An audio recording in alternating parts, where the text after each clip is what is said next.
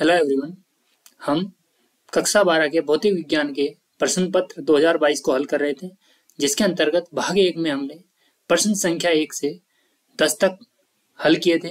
आज हम भाग दो के अंतर्गत प्रश्न संख्या अलेवन से प्रश्न संख्या एटीन तक सॉल्व करेंगे। तो आइए शुरू करते हैं प्रश्न पत्र को हल करना।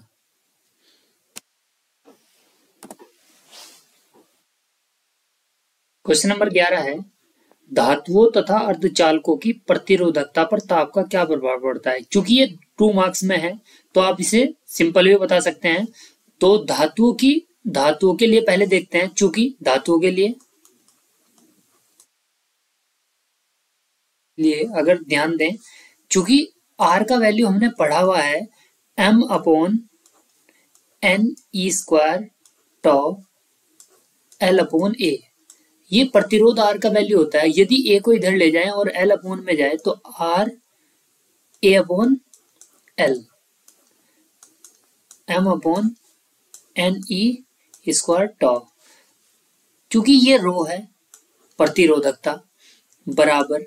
अगर एम एन ई किसी तार के लिए कांस्टेंट होंगे तो इससे हम लिख सकते हैं प्रपोजनल वन अपॉन टॉ और जो टॉ होता है, वो प्रपोजनल होता है V R M S upon में लेमडा क्योंकि टॉ का जो वैल्यू होता है lambda upon V R M S होता है। तो अगर वन अपॉन टॉ है तो V R M S upon lambda और जो वी आर एस होता है वी आर एस वर्ग माध्यम मूल वेग, वो अंडर रूट टी ताप के। तो यहाँ से हमें समझ में आ रहा है कि अगर ताप बढ़ाएँगे तो प्रतिरोधकता बढ़ेगी। तो धातुओं के लिए टी अगर बढ़ा देते हैं हम तो रो भी बढ़ जाता है। और अर्धचालकों के लिए? के लिए? ये इनका विपरीत होता है। यदि टी है, अगर टी बढ़ाते हैं तो रो कम हो जाएगा। तो साथ के साथ ये तो इसका आंसर था। अगर आप देखें, जैसे धातुओं के लिए है, वैसे ही अर्धचालकों के लिए भी सेम होगा। सॉरी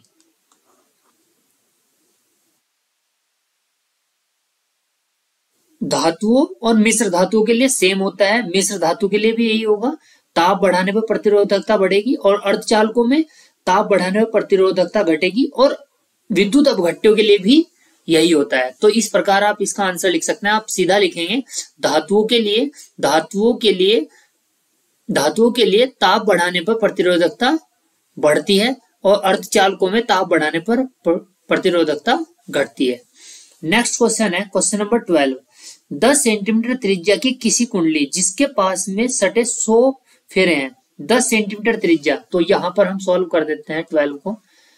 आर बराबर दस सेंटीमीटर और सौ सटे हुए फेरे हैं एन बराबर सौ। और धारा उसमें बह रही है आई बराबर तीन दशमलव दो एम्पियर। तो कुंडली के केंद्र पर चुंबकीय क्षेत्र हमें निकालना है, कुंडली के के केंद्र पर चुंबकीय क्षेत्र। चुंबकीय क्षेत्र के लिए हमने फॉर्मूला पढ़ा था कुंडली के केंद्र पर बी बराबर म्यूनोड अपॉन में टू एन आई अपॉन में आर यदि मैं इसे ऐसे लिखना चाहूँ म्यूनोड अपॉन में four pi two pi N I upon में आर। उस, मैंने इसे ऐसा इसलिए लिखा क्योंकि इसका value one into ten to की पावर माइनस के सेवन और two three point one four N हमारे पास सो और आई थ्री पॉइंट टू और अपॉन आर का वैल्यू जो दिया हुआ है टेन सेंटीमीटर। तो ten centimetre ten into ten to की पावर माइनस के टू इसे हम मीटर में कन्वर्ट करके लिखेंगे। सेंटीमीटर में तो मीटर में लिख सकते हैं।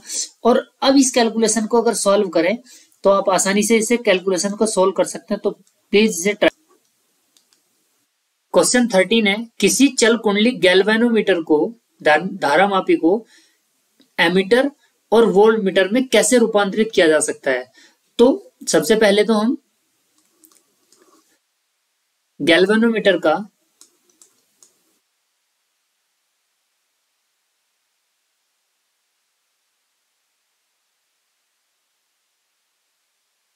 गैल्वेनोमीटर का अमीटर में में रूपांतरण। क्या करेंगे? गैल्वेनोमीटर की मीटर की कुंडली में कुंडली के समांतर क्रम में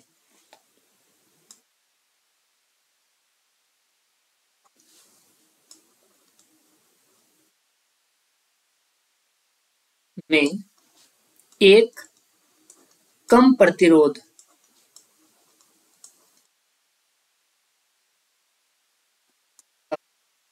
तार जोड़कर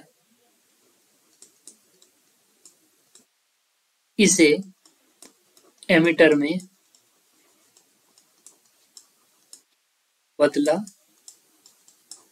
जा सकता है। चूँकि दो नंबर में ही क्वेश्चन है तो इतना ए, एक हो गया और सेकंड इसका आप लिख सकते हैं। तथा गैल्वेनोमीटर के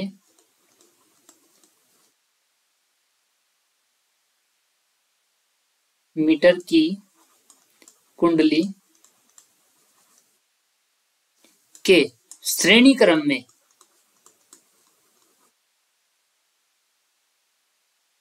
में अधिक प्रतिरोध का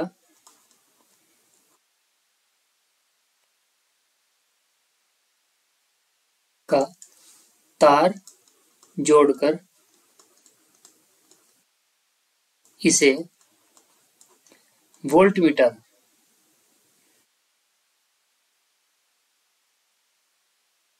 में रूपांतरित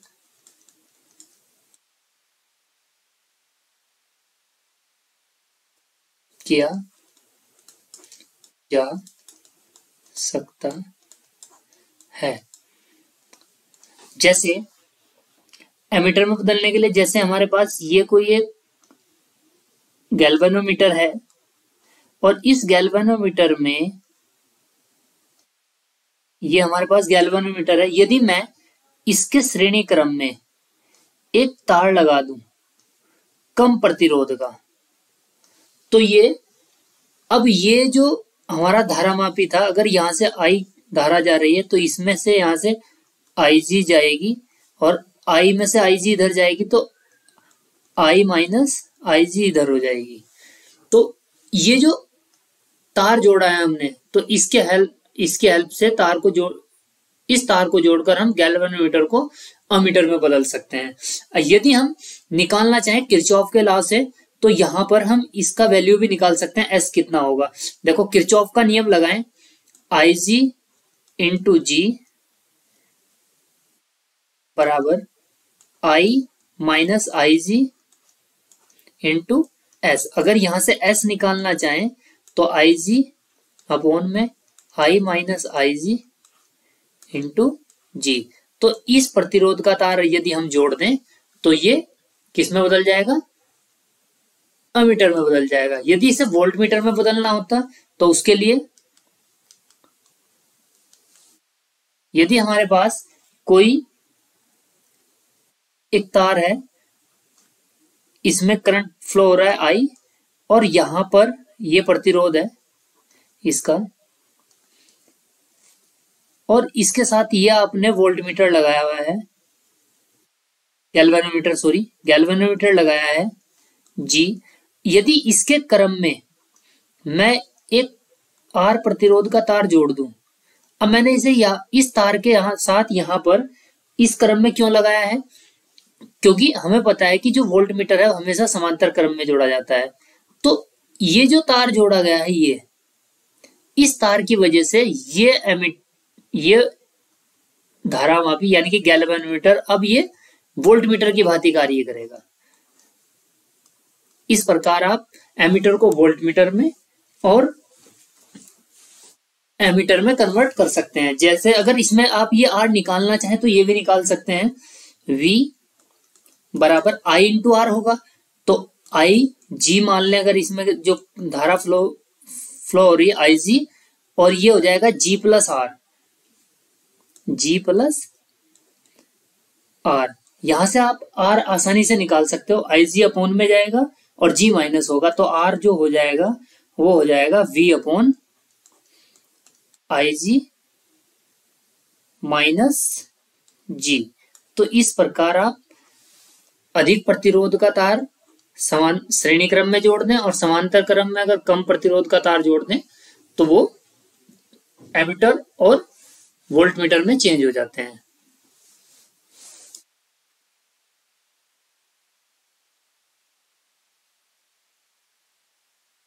क्वेश्चन नंबर फोर्टीन है, विद्युत चुंबकीय तरंगों की अनुप्रस्थ प्रकृति से क्या तात्पर्य है? तो विद्युत चुंबकीय तरंगे, चूँकि हम जानते हैं विद्युत चुंबकीय तरंगे जो हैं, विद्युत और चुंबकीय क्षेत्रों से मिलकर बनी होती हैं। और इस अनुप्रस्थ प्रकृति का अर्थ यह होता है कि विद्युत चुंबकीय क्षेत्र और विद्युत क्षेत्र तथा चुंबकीय क्षेत्र परस्पर लंबवत होते हैं और इस तरंग की जो दिशा होती है या गमन की जो दिशा होती है, वो उसके लंबवत होती है। तो इसका आंसर ये लिख सकते हैं। फोर्टीन का, विद्युत चुंबकीय तरंगों की की अनुप्रस्थ प्रकृति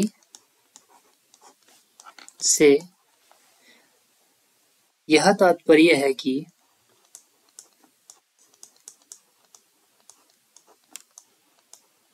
है कि इन तरंगों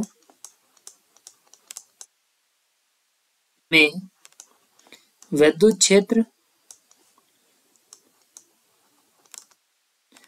क्षेत्र तथा चुंबकीय क्षेत्र। चुंबकीय क्षेत्र तरंग संचरण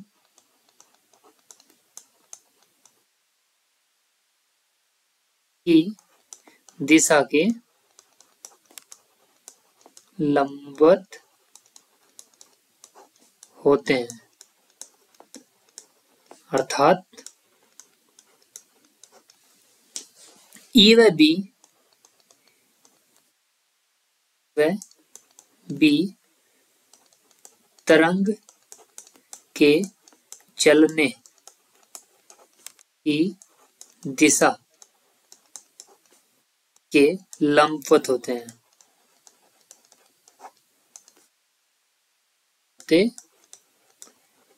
हैं और ई व बी परस्पर भी लंबवत होते हैं। यदि हम इसका एक ग्राफ बनाएँ एनसीआरटी में आपने देखा भी है ये ये एक्स एक्सिस लें, ये वाई ये जेड तो अगर हम जेड एक्सिस पे चुंबकीय क्षेत्र को मान लेते हैं, ये जेड एक्सिस के अकॉर्डिंग जेड एक्सिस उस साइड में है, और एक्स एक्सिस पर अगर हम वाई एक्सिस पर अगर चुंबकीय क्षेत्र को मान लें, ये तो ये बी और ये ई e. लेकिन जो तरंग है हमारी वो एक्स एक्सिस के अनुदिश इधर चल रही है तो ये बी के लम कंपन है और ये ई e के कंपन है। इस चित्र को आप थोड़ा एनसीआरटी से एक बार ध्यान से बनाएँ और अच्छे से बनाएँ। तो नेक्स्ट क्वेश्चन जो है, वो देखते हैं हम।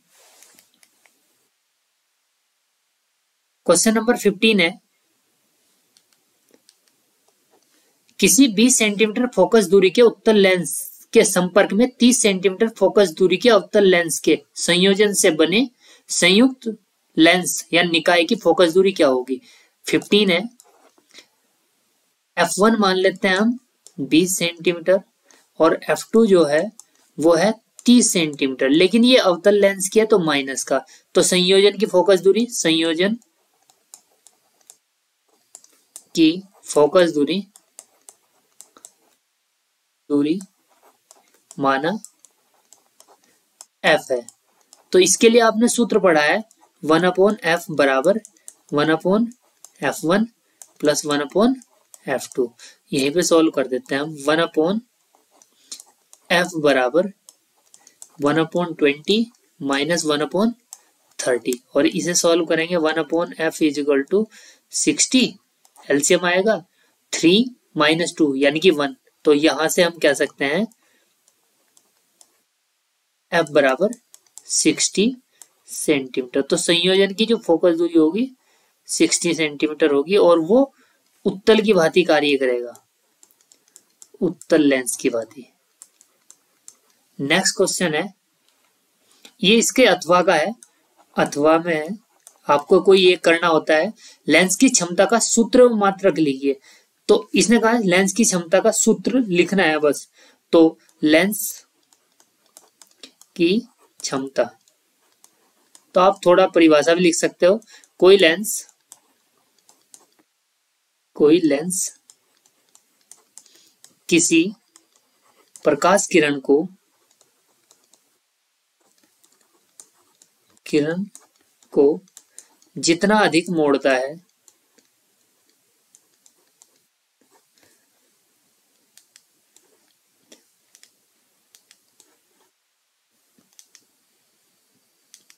वो जितना अधिक अधिक मोड़ता है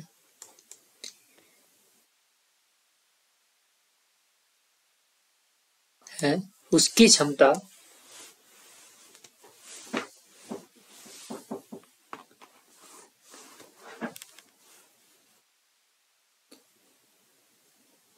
मोड़ता है उसकी क्षमता इतनी अधिक?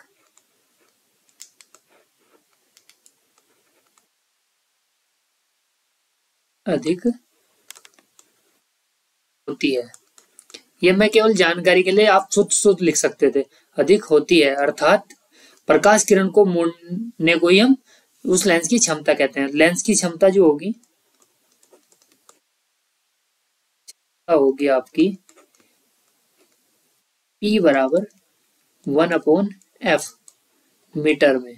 यदि एफ़ सेंटीमीटर में है तो हंड्रेड अपॉन एफ़, ये एफ़ सेंटीमीटर में। यानी कि अब आप सेंटीमीटर में ज्ञात करेंगे लास्ट में उसने कहा है, पचास सेंटीमीटर फोकस दूरी वाले उत्तर लेंस की क्षमता क्या होगी? तो गिवन है एफ़ बराबर पचास। और यहाँ इसका डायो, मात्रक जो होता है, इसका होता है डायोप्टर। डायोप्टर या डी कह सकते हैं। तो एफ़ दिया हुआ है आपको 50 सेंटीमीटर तो पी बराबर क्या हो जाएगा? वन अपॉन फिफ्टी या हंड्रेड अपॉन फिफ्टी सेंटीमीटर लिख देंगे तो कितना आ जाएगा? Two dioptre. तो उसकी क्षमता कितनी होगी? Two dioptre. तो इस प्रकार इस क्वेश्चन को हम सॉल्व कर सकते हैं।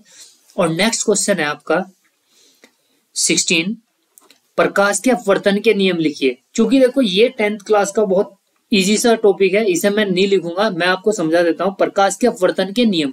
जब प्रकाश किरण अपवर, चूँकि अपवर्तन के नियम पूछे हैं, आपको पता है अपवर्तन किसे कहते हैं? यदि कोई प्रकाश किरण किसी तल से टकराती है और टकराकर अपने मार्ग से विचलित हो जाती है, या तो वो अभिलंब की ओर झुक जाती है या अभिलंब से दूर हट जाती है तो इसे आप क्या बोलते हो? प्रकाश का अपवर्तन कहते हैं। ये कौन है आपतन कोण? ये कौन है अपवर्तन कोण? तो इसके दो नियम होते हैं, आपतित किरण, अपवर्तित किरण तथा अभिलंब तीनों एक ही तल में होते हैं। और दूसरा स्नेल का नियम साइन आई और साइन आर बराबर क्या होता है? कांस्टेंट तो ये आपके दो नियम है, ये आप खुद लिख सकते हैं।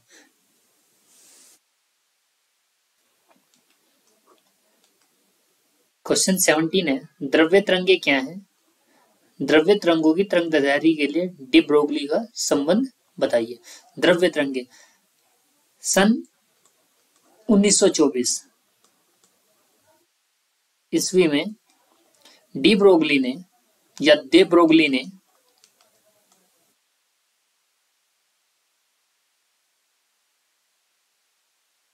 ब्रोगली ने बताया कि कि गतिशील कणों के साथ सदैव एक तरंग संबद्ध होती है, होती होती है, अर्थात द्रव्य कणों के साथ। कण जब गति की अवस्था में होते हैं, अवस्था में होते हैं तो वे तरंग की भांति भांति गुण प्रदर्शित करते हैं। करते हैं। द्रव्य कणों से से संबद्ध। इन तरंगों को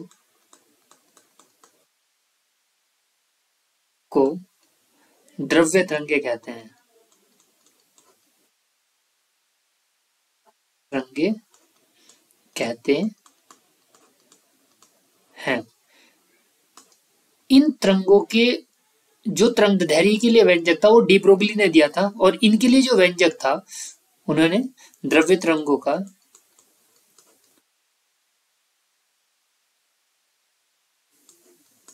की तरंग दधैर्य दधैर्य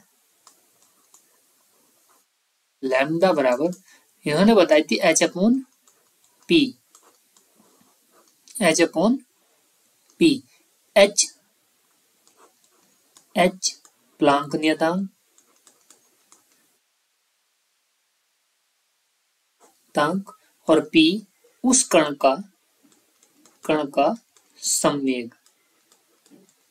तो इस प्रकार हम इस क्वेश्चन को पूरा लिख सकते हैं।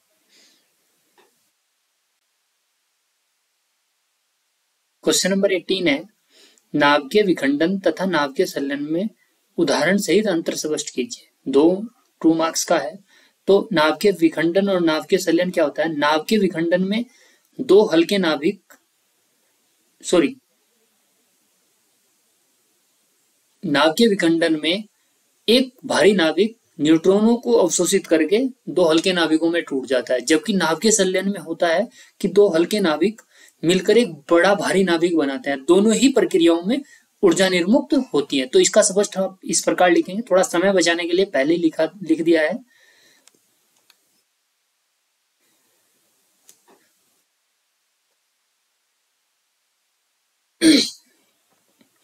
नाव के विखंडन नाव के विखंडन वह प्रक्रिया है जिसमें एक भारी नाभिक न्यूट्रॉनों को ग्रहण करके दो हल्के नाभिकों में टूट जाता है। जैसे बानवे यूरेनियम 235 न्यूट्रॉनों की जब बमबारी की जाती है तो छप्पन बेरेलियम 144 छत्तीस क्रिप्टन 89 और तीन न्यूट्रॉन और उत्पन्न होते हैं और प्लस ऊर्जा निर्मुक्त होती है। क्योंकि इसमें इसका और इसका बेरेलियम और क्रिप्टन का जो द्रव्यमान है, ये मूल द्रव्यमान से कम है। यानी कि इसमें कुछ द्रव्यमान क्षति है। डेल्टा एम की क्षति है। मतलब कुछ द्रव्यमान क्षति हो जाती है और वो क्षति आपकी सॉरी वो क्षति आपकी ऊर्जा के रूप में निर्मुक्त होती है। इसी प्रकार नाव के संलयन क्या है? नाव के संलयन में दो या दो से अधिक हल्के नाभिक उच्च चाल से गति करते हुए भारी नाभिक बनाते हैं। जैसे दो ड्यूट्रॉन मिलकर एक ट्राइटिन का नाभिक बनाते हैं।